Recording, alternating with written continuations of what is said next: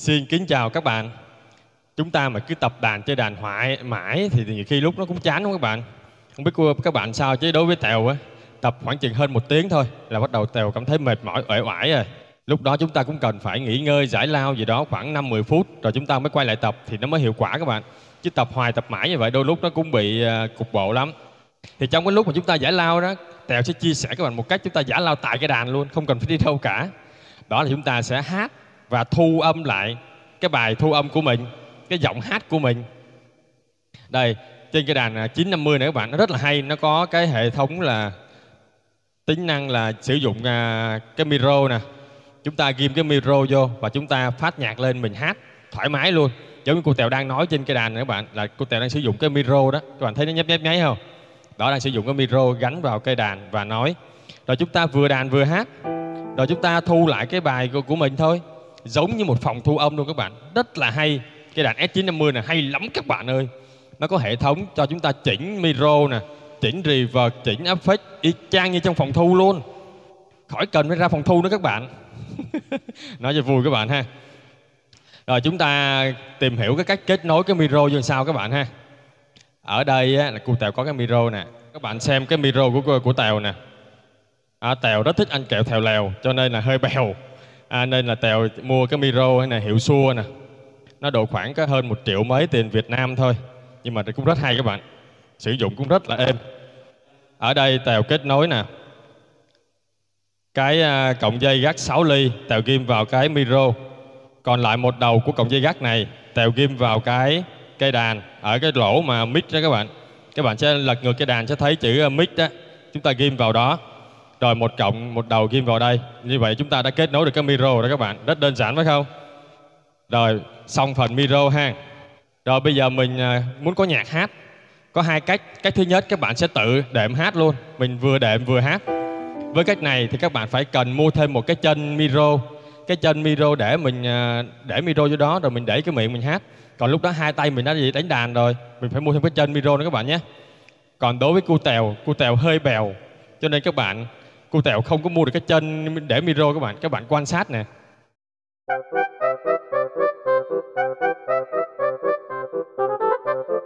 Đó các bạn thấy không? Cô Tèo bèo lắm các bạn ơi. Phải đeo cái micro vô cổ như vậy đó. Và nói và chia sẻ kiến thức âm nhạc đến các bạn đó. Có sung sướng gì đâu các bạn. Rồi đó là cách chúng ta à, cách thứ nhất là mình vừa đệm đàn vừa hát thu lại. Chúng ta phải có cái chân micro để để micro vô cái miệng mình để mình hát các bạn nhé hoặc là các bạn làm giống tèo cũng được. Lấy cọng dây á, buộc vô cái miệng như vậy đó, cũng được, cũng rất là hay. Rồi. Cái thứ hai, các bạn sẽ làm nhạc sẵn. Chúng ta sẽ mở đàn lên, rồi chúng ta đánh đệm gì đó.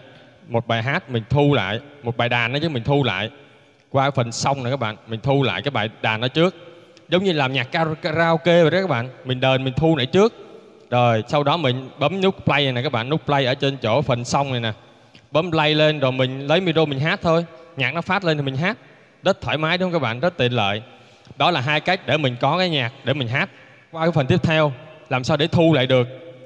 Khi mình kết nối micro rồi, hát rồi, mở nhạc lên hát rồi, chúng ta muốn thu. Các bạn sẽ bấm vào cái nút USB Audio Player mép bên này, bên tay phải của tèo nè. Ở trên kế cái chữ mà S950 luôn nè. Các bạn thấy đó, các bạn cứ bấm vô, nó sẽ xuất hiện một cái bảng thì chút xíu nữa chúng ta sẽ à, tìm hiểu cái này sau. Các bạn cứ bấm vô cái nút này audio à, player nè. Thì xuất hiện cái bảng trong đây nó có cái phần thu. Mình cứ bấm nút thu rồi sau đó mình bấm play. Bên nhạc có sẵn nè mình hát rồi mình thu thôi là tự động nó sẽ thu lại. Mà các bạn muốn sau khi thu rồi các bạn cần phải có một cái USB đây USB của của, của Tèo đây Tèo gắn vô chỗ mà lỗ USB của cây đàn đây. Tại vì có USB thì khi mà các bạn hát xong á nó mới tự động nó thu lại được, nó lưu lại được. Còn nếu không, nó sẽ không đủ bộ nhớ đâu các bạn, nó sẽ không lưu được. Mình sẽ mua thêm một cái USB này nữa. Đây, các bạn thấy USB của của tèo không? Rất là rất là thú vị. Dán băng keo tùm lum ở trên nữa bởi vì khổ đó các bạn ơi. Tèo à, thích ăn kẹo thèo lèo cho nên hơi bèo.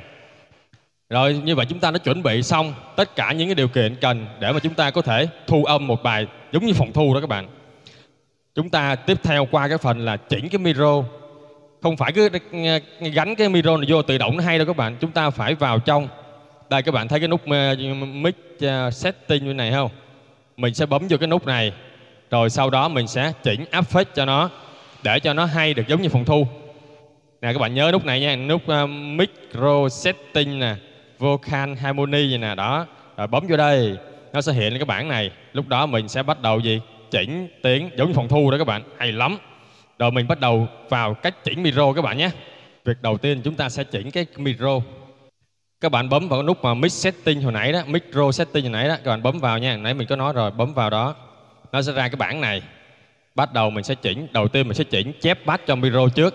Các bạn bấm vào mic setting, bấm vào đó.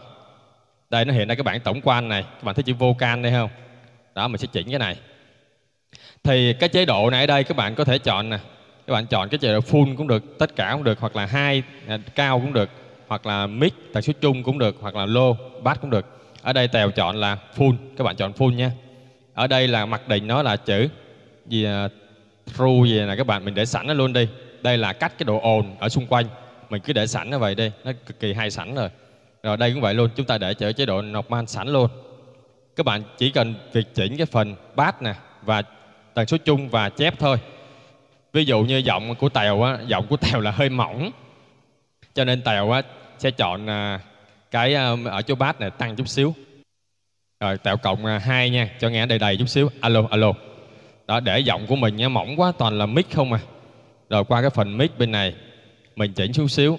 Giọng của mình nó mỏng sẵn rồi. Alo alo ok.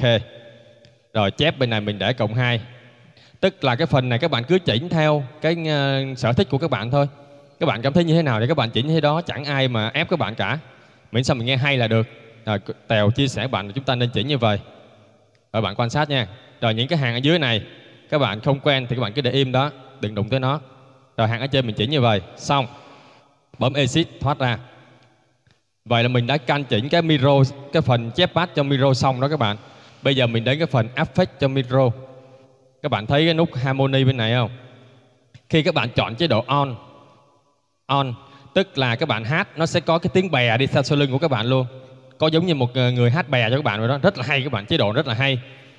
Rồi, để dành cho bạn khi hát, chúng ta mở lên, sử dụng tiếng bè vào. Rất là hay các bạn ơi. Rồi, đây là effect bây giờ mình sẽ chỉnh cái effect cho micro các bạn vào. Gì ờ, chữ tiếp silic vậy nè. Tiếng anh không mà tèo đọc tiếng anh như gió luôn đó các bạn. Đây là những bộ mà có sẵn effect có sẵn trong cây đàn. Rất là hay các bạn ơi. Mình chọn thử nha mình chọn thử nha. Ờ chị kít thử coi nó hay không? Alo alo alo. Nghe mắc cười quá các bạn ha. Đó rất là hay các bạn. Rồi mình chọn cái này cái robot nè. Alo alo. Mắc cười các bạn ơi đó mình chỉnh nhiều chế độ. Alo alo. Đó mình chỉnh nhiều chế độ tiếng khác nhau đó các bạn. Hiệu ứng rất là hay. Alo alo alo. Trời ơi cái hiệu ứng này hay quá alo alo. Có rất nhiều hiệu ứng hay các bạn. Người ta cái cài sẵn rồi. Các bạn tin mình đi các kỹ sư à, của công ty Yamaha này người ta đã đo lường tính toán sẵn rồi các bạn. Hay lắm. Alo alo. Trời ơi, giống chị gái luôn. Alo. Rồi ở đây tèo chọn cái uh, hiệu ứng. Cái uh, app bộ effect là standard standard quay test vậy nè. Chạy ở tiếng Anh không à. Cứ đọc tạm về đi các bạn ha. Các anh chị ở nước ngoài mà có xem cái video này thì đừng cũng đừng có cười tèo nha tại tiếng Anh tèo cũng không rành tiếng Anh lắm. Rồi mình chọn cái bộ này. Sau đó mình bấm nút edit này. Các bạn thấy chữ edit không? Edit này mình vào chỉnh sửa. Rồi trong đây nó mặc định nó như vậy nè các bạn. Khi bấm vào mặc định nó như vậy. Đây cái harmony là chúng ta giống hồi nãy đó cái độ à, bè của tiếng hát bè đó các bạn. Rồi ở đây các bạn chú ý giùm mình hai chỗ. Đó là chỗ reverb và chỗ chorus. Chỗ reverb này nếu như mình nói chuyện thì mình chọn nó khoảng 13, 14 gì đó đó, để cho hơi chút xíu cái reverb phía sau lưng thôi. Còn cho rút này các bạn cho chút xíu thôi đừng cho nhiều quá nó bị méo tiếng. Bị méo tiếng. Còn khi nào hát các bạn chỉnh lên. Alo. Rồi các bạn thấy em lúc này reverb nó nhiều chưa? Quá nhiều đúng không? Theo kinh nghiệm của Tèo thì lúc hát các bạn chỉ nên chỉnh khoảng à, 45 từ 45 đến 48 là cái tần số reverb này khi hát là nó sẽ hay. Ở đây Tèo chọn 45 nha. Các bạn nhớ thông số này luôn nha. 45 còn bên chorus thì các bạn chọn à, 5 thôi. Cho nó chơi chút xíu có sự hòa trộn tiếng cho nó hay. Rồi những cái này các bạn để im không cần phải chỉnh tới. Chỉnh cái reverb 45 và chorus 5 thôi. Đó là mình chỉnh xong effect của nó rồi đó các bạn. Rồi quay lại để mình nói chuyện cho các bạn dễ nghe ha. Rồi sau đó các bạn mình tiếp tục qua cái trang à, chữ pad nè. Chữ pad này nè. Ở đây nó sẽ cho phép các bạn à, các bạn thấy chữ pad này chưa? Ở đây nó sẽ cho phép các bạn là chỉnh độ lớn nhỏ của cái mà tiếng bè, hát bè, harmony hồi nãy đó. Ở đây tèo nghiên cứu rồi, các bạn ơi, tèo có nghiên cứu dữ dằn rồi. Mình chỉ chọn nó ở mức độ khoảng năm chục thôi. Đừng có cho nó lớn quá, mày hát bè rồi hát lớn hơn nữa mày? Đâu có được. Mình cho nó năm chục thôi. Bây đây năm chục luôn. Rồi, xong. Tức là cái âm lượng của thằng à, hát bè các bạn, khi bạn bấm lên nó sẽ hát ở âm lượng năm chục thôi. Nó cộng với cái tiếng của mình nó sẽ rất là hay rồi sau khi bạn chỉnh xong các bạn bấm nút save nè. Bên tiếng anh gọi là save gì đó, bên tiếng việt mình cứ gọi là lưu để dễ nhớ, bấm nút lưu lại. Rồi, đặt tên đặt tên gì đó kêu tèo piano gì đó đặt vô. Bấm nút save nè, rồi đặt tên cho nó. Rồi, ok, xong ha. Sau khi lưu ra xong, đây, tèo đã lưu thành hai bộ. Cái bộ mà có, không có chữ gì hết, có chữ standard quay test vậy nè. Cái bộ này tèo dùng để nói nói chuyện, tức là reverb nó ít mình dùng để nói chuyện, cho nghe dễ nghe. Còn khi nào hát, tèo sẽ chọn qua bộ standard quay test 2 nè. Giờ chọn thử cái bạn nghe reverb nó lên lên nè. Alo. Thấy rõ ràng các bạn, mình chọn qua đó cái reverb nó lên lên. Mình chọn sẵn hai bộ như vậy đi. Để khi nào mình nói chuyện thì mình chọn bộ này. Đó, các bạn thấy hết hết reverb cái bớt reverb lại đó. Còn khi hát mình chọn bộ này. Chúng ta cài đặt xong cái phần effect cho micro. Cực hay đó các bạn các bạn thấy không? Chúng ta chỉnh chép bass là tần số ở trong thoải mái luôn. Rồi chỉnh effect này, các bạn thấy rõ ràng không? Y chang như một phòng thu, đâu có khác gì đâu các bạn. Bởi vì ta nói cây đàn Yamaha này nó hay lắm các bạn ơi. Mua mấy chục triệu về chẳng lẽ để dùng nó cứ bấm style rồi tiếng đánh đàn thôi sao? Đâu có được. Phải khai thác hết cái chức năng của mới được chứ, chống lãng phí. Rồi sau khi các bạn chọn xong, các bạn sẽ lưu lại rồi. Khi hát các bạn cứ chọn cái bộ effect đó thôi rồi khi nào mà các bạn à, muốn lưu bài hát á, sau khi chỉnh micro xong nè, rồi bấm nhạc xong rồi nè, các bạn sẽ bấm vào cái chữ audio, hồi nãy mình có nói rồi đó, audio player đó sẽ hiện ra cái bảng này. Lúc này, các bạn sẽ các bạn thấy nút ờ, record này không? Mình bấm nút record này để thu đó các bạn, bấm nút record nha. Các bạn thấy nút ờ, play nó nhấp nháy nhấp nháy không? Đó, khi các bạn bấm nút play này cái là bắt đầu nó thu lại đó. Các bạn sẽ đàn hay hát gì trên cái đàn này, nó sẽ thu lại hết tất cả. Và nó sẽ lưu vào cái USB hồi nãy mà Tèo có nói nó gắn USB trước các bạn nha. Bây giờ các bạn chọn nhạc bên ờ, song xong sẵn đi. Rồi các bạn bấm thôi, phát. Rồi bên đây mình mình bấm nút ờ, play này trước các bạn ha, cho nó phát, cho nó ờ, lưu. Bấm play nè. Đó, bắt đầu nó thu nè. Các bạn thấy nó thu không? Đó, một, hai, ba giây đó. Rồi sau đó, chúng ta bấm nút play bên cái mà bên nhạc mình thu sẵn hồi nãy đó, bên xong đó. Rồi bắt đầu mình hát, mình thu thôi hoặc là các bạn đàn thì các bạn ờ, lúc đó bấm ờ, thu xong rồi nãy đang thu nè. Các bạn đó vừa đàn vừa hát thì nó sẽ thu lại cho các bạn thành một cái file. Bây giờ sau khi mình thu xong ha mình giả bộ như mình hát thu xong đi rồi mình bấm nút stop. Nút stop nè các bạn. Rồi bấm stop. Nó sẽ hiện ra cái bài file nó thu sẵn cho mình luôn nè các bạn. Nhưng mà các bạn nhớ là phải gắn USB nha nó mới nó mới uh, lưu vô USB cho mình nha. Rồi mình vô chữ file này nè mình kiếm lại cái bài nãy của mình mới thu đó. Đâu rồi ta? Đây nè đây nè cái bài nãy nè ao 12 mới thu thử nãy nè đó bây giờ mình mở mình nghe thử nè. Toàn tiếng của tèo nói không? Đó bắt đầu nó thu nè. Các bạn thấy nó thu không? Đó một hai ba giây đó. Rồi sau đó chúng ta bấm nút play bên cái mà đó, các bạn nhạc, cái file mà cô tèo mới thu này đó. Mới nói chia sẻ các bạn nó thu lại đó. Như vậy là mình đã có một bài thu âm hoàn chỉnh đó các bạn. Cực hay rồi đó. Các bạn nhớ điều chỉnh cái effect micro cho nó hay nha. Nhớ chỉnh theo của tèo đi. Tèo cũng nghiên cứu rồi cũng ờ, chỉnh nhiều lần thấy tạm ổn đó các bạn rồi sau khi mình chỉnh hết tất cả xong, mình ra ngoài và bắt đầu gì mình, mở nhạc lên mình thu thôi. Đây này, cái bài gió và mưa tèo tự sáng tác, tự phối ờ, hòa âm phối khí luôn nè. Rồi bây giờ tèo mở nhạc bên ờ, play bên xong nó lên, rồi tèo bấm nút thu. Bấm nút thu ở bên này, rồi tèo hát, tèo thu lại thôi là xong. Có một bài thu âm hoàn chỉnh. Sau khi mình đã chỉnh cái micro xong và chỉnh cái phần thu xong, mình bắt đầu gì vào thu thôi các bạn đó, mình bấm nút audio như nãy nè, nút audio lên rồi mình thu thôi. Mở nhạc lên, rồi mình thu. Nhớ, bấm nút audio trước nè, audio player trước nè, rồi bấm nút thu như hồi nãy nè. Rồi, chuẩn bị nhấp nháy nhấp nháy nè. Mình bấm nút play, nhấp nháy này trước cái đã, rồi mình mới bấm về nút phát nhạc này. Nhớ nha, bấm cái nút thu. Thấy nó nhấp nháy nhấp nháy nè. Bấm cái nút play này cái đã, cho nó hết nhấp nháy, rồi bắt đầu chúng ta vậy bấm nút nhạc này, phát lên và bắt đầu thu quá đơn giản phải không bạn. Bây giờ tèo sẽ thu cái kiểu số 1 trước. Chúng ta sẽ vừa đàn vừa hát rồi thu lại.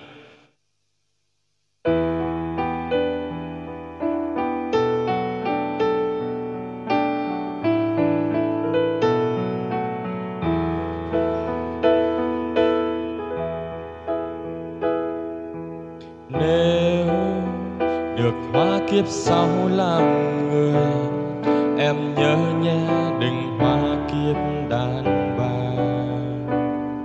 thanh xuân ngắn lắm, em cười mấy độ. Rồi cả đời này ôm những nỗi xót xa. Đừng vội vã,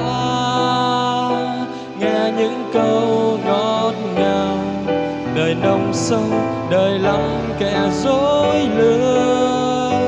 Trái tim nhỏ bé, hãy chia làm hai một nửa yêu người, một nửa cho riêng mình. Rồi mình thu xong, mình bấm cái nút stop, nó sẽ tự động thu lại các bạn. Rồi mình giờ mình qua mình nghe thử lại cái file mình mới thu như thế nào các bạn ha. Chắc giống như ca sĩ luôn các bạn. Mình chọn cái file xong, rồi mình bấm play thôi, nó sẽ tự à, phát. Rồi mình nghe thử nha.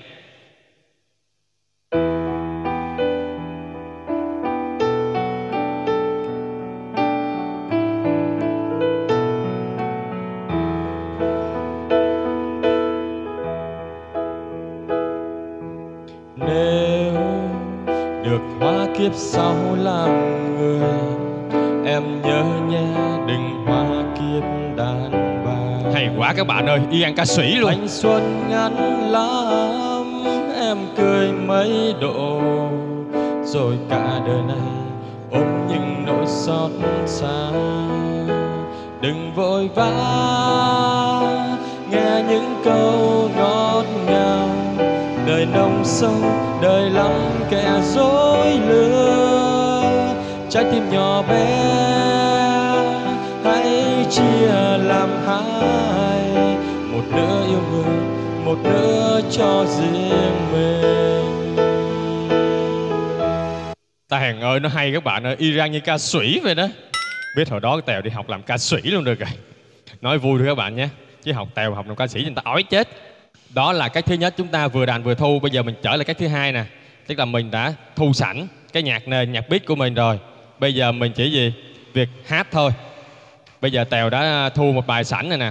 Bài này là do tèo sáng tác luôn. Tèo tự hòa âm phối khí luôn. Không có phải hát bài nào của ai hết trơn á. Hổm rày các bạn trên ờ, internet lùm xùm cái vụ mà nhạc sĩ Giáng Son nữa các bạn. Nhạc sĩ Giáng Son ờ, sáng tác cái bài giấc mơ trưa đó, nổi tiếng đó trời ơi bài sáng tác của người ta luôn mà mấy ông mấy bà ở cái công ty gì BH Media gì không biết nữa. Lấy của người ta đánh cho đã vô rồi bài đặt. Tới người ta đang tới cái tới nhạc sĩ Giáng Son đăng lên cái bắt ừ, khiếu nại bản quyền nhạc sĩ Giáng Son. Các bạn thấy thấy thấy, thấy mắc cỡ mắc cười không? Bài của người ta sáng tác người ta không không khiếu nại bản quyền thì thôi. Đi lấy bài người ta hát cho đã đánh cho đã rồi cuối cùng cái bây giờ bắt ngược lại bản quyền của nhạc sĩ Giáng Son nữa. Đúng là cuộc đời các bạn ơi. Vì vậy tèo không bao giờ hát nhạc của mấy người nữa. Tôi sẽ tự sáng tác tôi hát luôn. Chơi luôn các bạn. Rồi tèo làm nhạc sẵn rồi nè. Nhạc phối sẵn rồi. Bây giờ tèo chọn cái uh, tèo chọn cái à, à, uh, effect của micro sau đó mình hát mình thu thử nha. Nè chọn cái micro nè effect nè.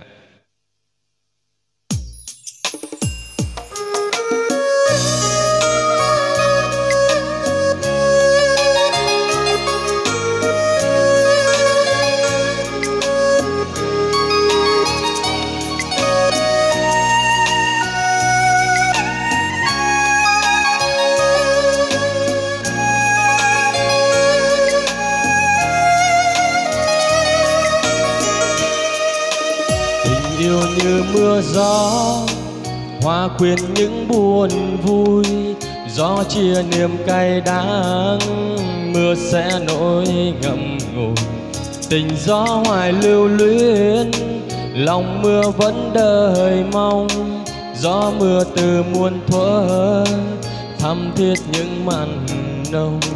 Nếu trời không có gió, mưa chỉ là hư không gió mưa tình bất diệt thiên thu mỗi duyên nồng. Nếu mưa không còn gió như chiếc lá lìa cành rơi giữa mùa thu cuối ngày nào em xa anh?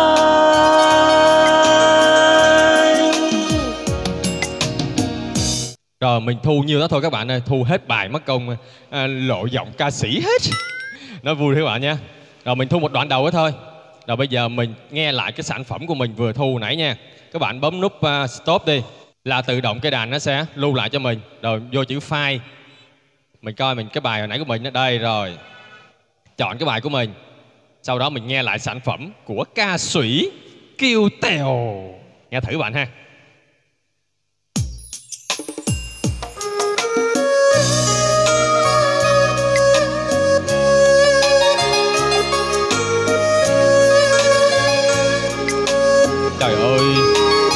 Biết nhạc sĩ nào phối nhạc mà hay quá các bạn ơi.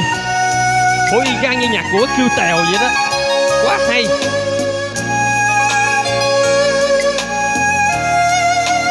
Rồi, nghe giọng ca sĩ nè. Tình yêu như mưa gió hòa quyện những buồn vui. Gió chia niềm cay đắng, mưa sẽ nỗi ngậm ngùi.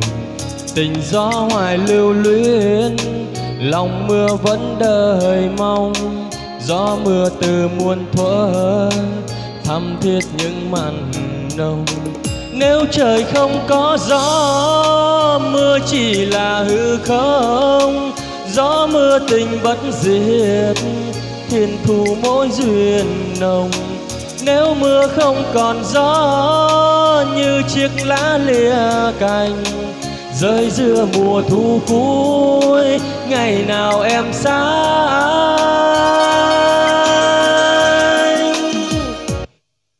Các bạn thấy không? Quá trời hay các bạn ơi. Cái đoạn cuối đó tèo sử dụng cái uh, tính năng là hát bè vô đó có sẵn trong cái đàn luôn đó.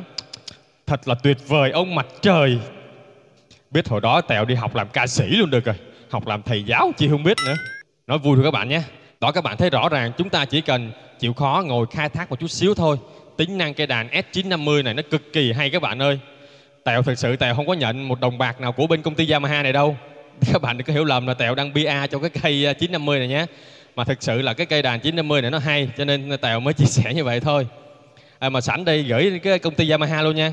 Em PA dùm cho công ty Yamaha cái đèn S950 này quá trời luôn là nhớ gửi tiền à, hoa hồng cho em cà phê cho em nha. Để em mời các bạn à, xem kênh cu tèo ờ, uống cà phê nha.